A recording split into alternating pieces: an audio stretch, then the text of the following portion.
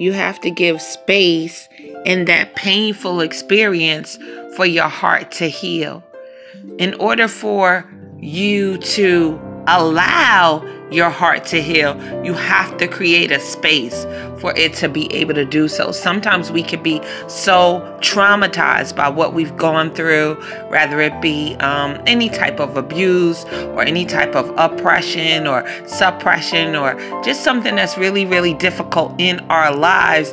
What we will do is we will block our energies, we will block our chakras, and we're not allowing ourselves to heal. So we must give space in every emotional, mental, spiritual, relational experience in order to allow ourselves to heal.